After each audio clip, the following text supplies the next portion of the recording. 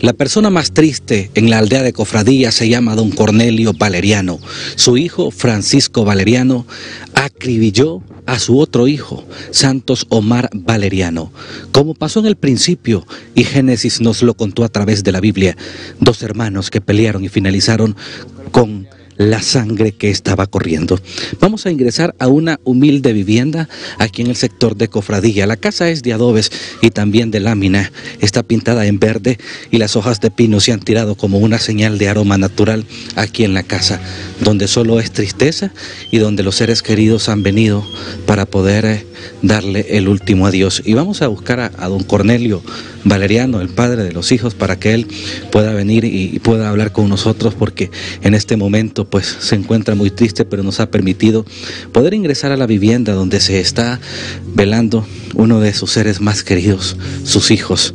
Otro hermano de ellos también yace sobre el ataúd, envuelto en llanto, y no se ha quitado de allí, despidiéndole entre lágrimas y, y, diciéndole pues básicamente que nunca le va a olvidar. Don Cornelio, que Dios le dé fuerzas, pues un momento triste lo que está pasando, no se imaginó que a usted le iba a tocar vivir algo así. No, no, nunca, nunca pensé yo que el otro hijo le iba a quitar la, la vida al hermano.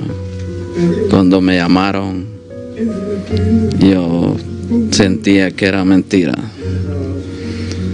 Era muy duro esto. ¿Cómo pasaron los hechos, don Cornelio? Porque nos han contado una historia, pero no estamos ciertos que sea real. ¿Usted qué sabe que es el padre? No, porque como yo vivo en Tegucigalpa, yo, ellos aquí viven. Entonces yo, yo me llamó la esposa pequeña. Yo nunca le creí yo que el hermano había matado al otro hermano. ¿Cuántos hijos son ellos? El año pasado me murió mi esposa también de 28 años. Se murió mi esposa también. Ahora, ahora el otro hipote. Ya solo me quedan dos hipotas. ¿Ellos viven aquí en la casa? Sí, una abajo y ya la de aquí ya solo quedó sola. ¿Había algún problema entre ellos? Así habrá días. ¿Por qué, don Cornelio? No sé por qué peleaba el hombre, porque el hombre, yo le había dado otra casita y él vivía acá en esta. Pues. ¿Por la herencia entonces? Sería. Porque a mí me dijo, que a mí me dijo, anda a correrlo, me, no lo va a matarme. Ahí me dijo. ¿Se lo advirtió entonces? Sí, me, ya me ha advertido. No, yo, como iba a venir a correr el hipote, no. Él quería quedarse con esta casita entonces. De seguro. Y le dije, echa tu cerco allá, aquella casita es tuya. No, es que yo no lo quiero ver ahí. Sacarlo y no vas a ver, pues te vas a arrepentirme. Así me dijo. ¿Nunca se imaginó usted que era no. cierto que le iba a matar? No, no, no, no, jamás. Yo le dije, apartate, vos sos el mayor, hombre. Le digo. Más bien, él es el que había quedado aquí, pues, cuidando las hipotas aquí. Ni lo que fue a hacer. ¿Sus hijos eran violentos o no eran violentos? ¿A qué se dedicaban? Mm, él no bebe, ni fuma. Él se dedica a la mecánica. Entonces no andaba bajo ninguna ingesta del muerto. Mm, él sí echaba una cervecita, pero no molestaba a nadie. ¿Y su hijo, quien lo mató, andaba bebido? No, él no bebe ni fuma, nada. No sé qué le pasaría. Don Cornelio, ¿cómo eran sus hijos cuando vivían con usted? ¿Por qué se separaron como familia ah. o no se habían separado como familia? Sí, yo me separé cuando, antes de morir mi esposa, y quedaron pequeños. Pero yo siempre los venía a ver. Siempre yo los rodeaba en la comidita, siempre las tenía en la casa. ¿Qué pasó con Francisco después de que mató a su hermano? Nah, ya no lo volví a ver yo. Ya la hipota fue que me llamó y nada, para mí no. Para mí murió también. Murieron los dos. ¿Se le salió del corazón en este momento? Sí, sí, no, ya no. Ya. Ya para mí ya. Como, como que murieron los dos. Lamentablemente en su familia se cumple la Biblia cuando dice que se levantará hermano contra hermano. Puede ser. Don Cornelio, ¿a dónde le va a dar cristiana sepultura usted a su hijo? Aquí en Ajorica, el cementerio de acá. El que está adelante. ¿eh? ¿A qué se dedicaba su hijo ya fallecido? Él trabajaba en el mercado. A veces, a veces no. Como él no tenía, era solo. Más pasaba chapeando aquí, el terreno muy grandecito. ¿El varón que llora sobre el cuerpo también es su hijo? No, él no. Solo ellos dos son. Ellos solo los dos, dos hipotas. Eran amigos de él. Entonces usted tenía dos hijos varones y dos hijas hembras. Tres hembras, con la que me murió eran cinco. Y habían quedado dos y dos varones. ¿Su esposa también ya murió? Ya murió, el 2015 y mi, mi hipota murió el, el año pasado. Don Cornelio, vamos a seguir escuchando, pero antes hay otros familiares aquí, madre. Sentimos su dolor. Triste la historia que hoy se ha contado en esta casa. Usted era familia de él. Que llevaba bien con nosotros. La doñita Sí. familia. Eran amigos. Sí. La doñita. ¿Usted qué parentesco tiene con él, madre? Ni quiera Dios. Son familia ustedes. Sí. Nunca se imaginó que iba a pasar Se esto. crió en la casa. Lo quería mucho a usted. Sí. Una, una gente que quería. La mamá de él se crió con mi hermana. Los criamos ahí todos. Asombrada por lo que ha pasado. Sí. Y anoche no pude bajar porque ya en la noche ya no, no puedo caminar mucho. Me da miedo irme a golpear. ¿Cómo era él en vida? Tranquilos. Y que como a las 5 de la mañana, eh, no como a las 5 de la tarde y media ayer, allá subieron arriba él y él. Así pasaban por la orilla. Juntos los dos. Los dos yo. Y los dos bajaron. Al ratito fue la bulla. Pero no sé por qué. Va, porque no. Yo vivo muy arriba y esto fue aquí. Hay amigos de verdad que sienten a las personas como si fuesen hermanos. Vemos un caballero que, que fue amigo. Lamento mucho su dolor. Lo vemos muy triste. ¿Cómo se llevaba con él? ¿Cuánto tiempo se conocieron? Él era mi hermano, sí. No de sangre, pero sí. Podría decirle que lo amo mucho, mi parce. Y te fuiste, ánima. Y a Francisco también lo conoce usted. Es que ellos son familia mía, usted. ¿Ambos eran sus amigos o solo él? Con él era el único que tenía mi, mi vida, pues con él, él me entendía. Con él comíamos en el mismo plato, comíamos del, bebíamos en el mismo vaso, pues. No, me. Compa, Macizo está bien que lo haga. Pero él es mi parce, compa. Él es mi parce, mi hermano, perro. Yo quiero sacarte de ahí. Pero yo no puedes estar aquí conmigo, perro. Perro. Te amo, loco. Siempre me dijiste que dejáramos la vida de beber, perro. Hay que respetar a mi mujer, sí. Está bien, loco, lo voy a hacer. Pero no te vayas, loco. Un amigo que no ha parado de ayudarle en el ataúd mientras en unos troncos de huerta dos candelas y un humilde ramo de flores sobre un ataúd de madera en una mesa con una manta blanca y una pequeña decoración humilde en una casa verde de adobe. Con mucha sencillez esta familia hoy despide a dos de los suyos. Si le tocara decirle algo a su hijo que huyó, que estamos seguros que en algún momento él va a ver esto que estamos transmitiendo a través de HCH por la potencia de este canal. ¿Cuáles serían sus palabras para él, don Cornelio? Usted como padre. Para el que, el que se fue. No, que él tiene que arrepentirse. Tarde o temprano tiene que arrepentirse. Francisco caminaba armado. Sí.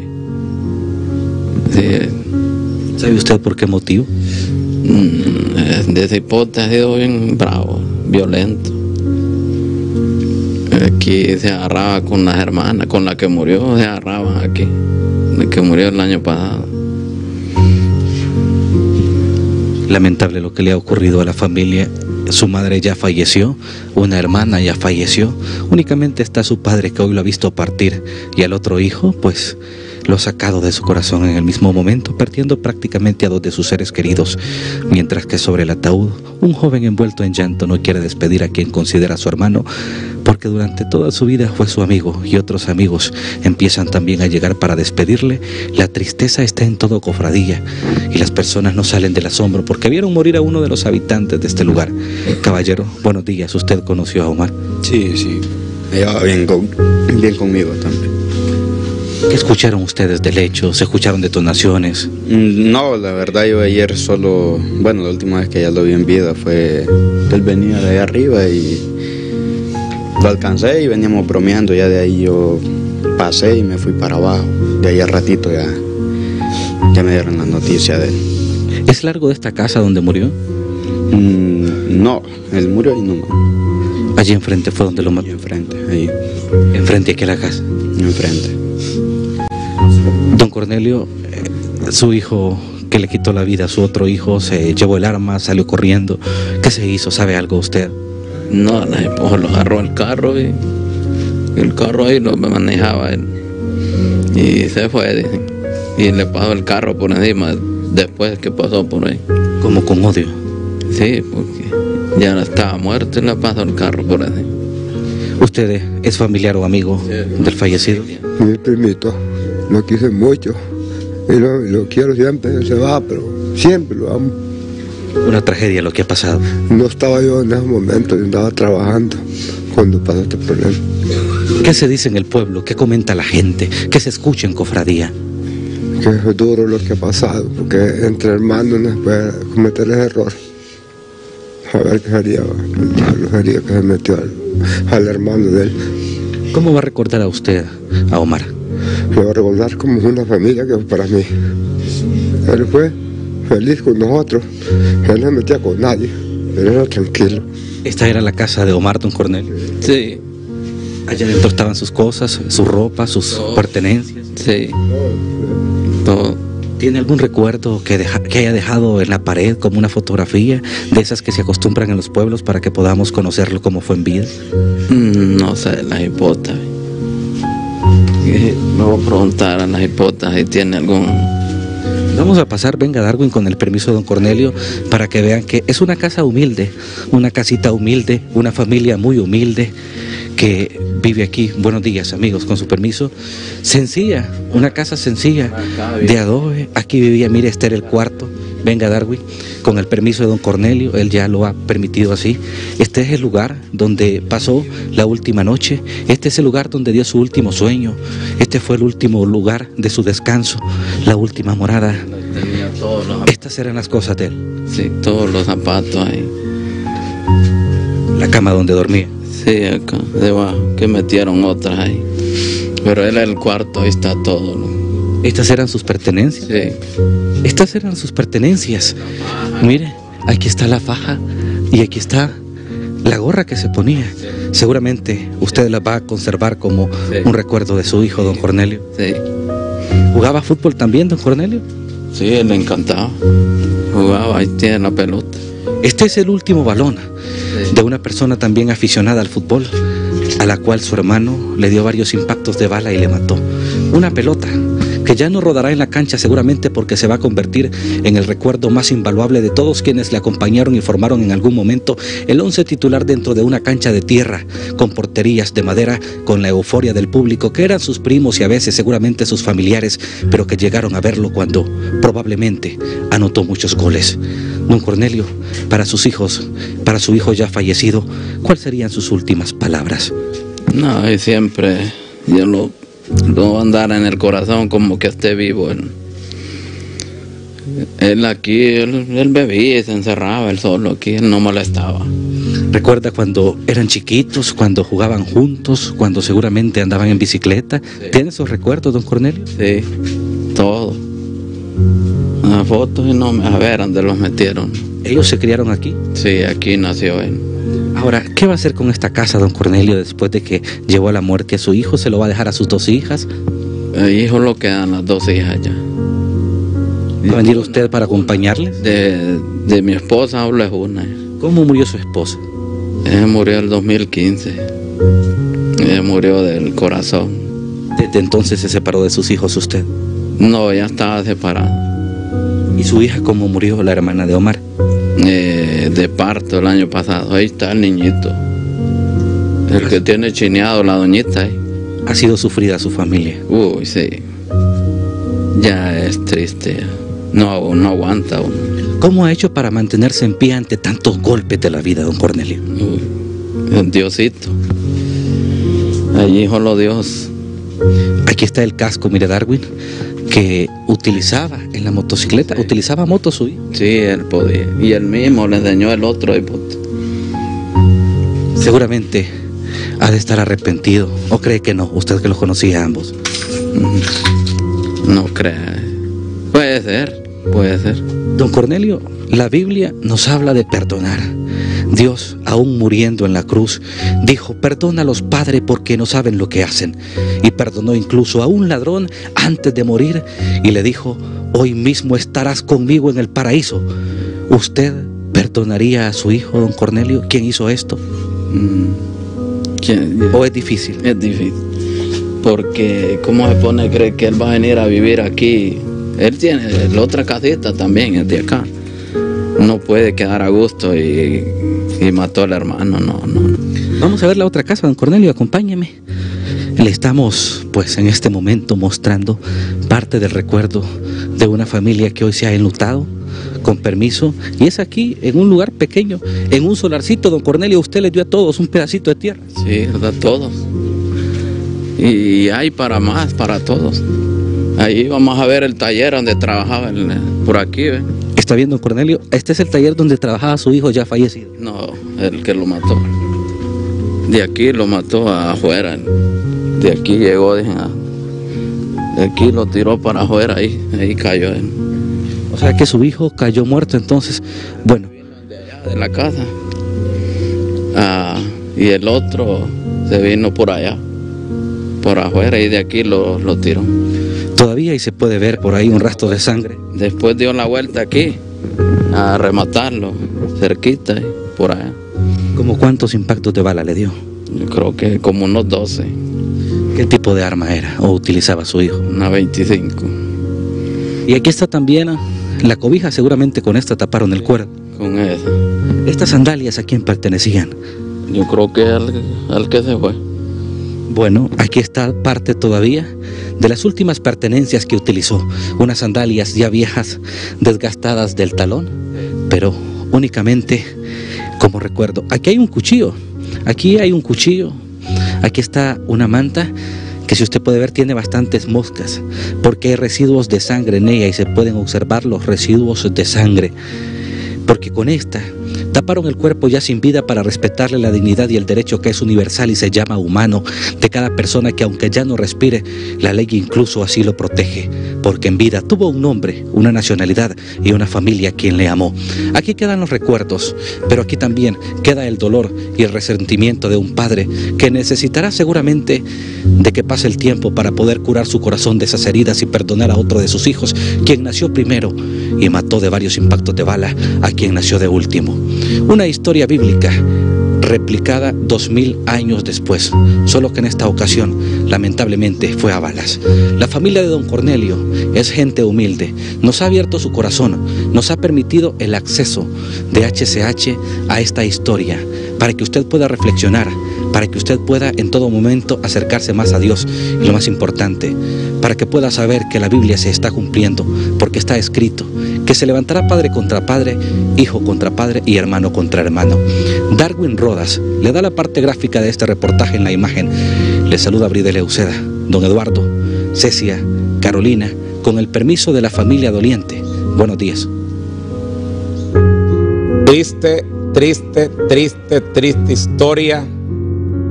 Y quizá las expresiones que pueda dar el padre, Carolina y Ceci en este momento, sean más de resentimiento por el, por- contra el hijo que, Es un que- hecho reciente. con, con el hijo que queda vivo, Sí. porque tiene a su otro hijo muerto. Pero como él dijo ahí, ¿verdad? Este, prácticamente pierde a... a- bueno, ya, ya uno de ellos no lo va a volver a ver, está muerto. Qué difícil. Y su otro hijo Está prófugo de la justicia en profunda este justicia momento. y de caer. Eh, Para varios años en prisión.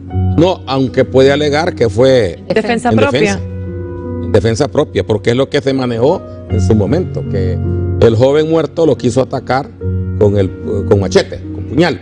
Sí. Y él único que hizo fue defenderse, pero ni usted, ni Cecia, ni yo estábamos ahí. El muerto no habla. El muerto no habla. Pero es triste esta historia de las cuales eh, son bíblicas, ¿verdad? Caín mató Abel. Y lo decíamos antes de, de pasar a Abril de Leuceda, que es difícil para la familia porque son dos momentos los que están atravesando. Primero la pérdida de un pariente y por otro lado también el dolor que causa que un mismo familiar, en este caso su propio hermano, lo haya matado. Y lo Duro. triste también es que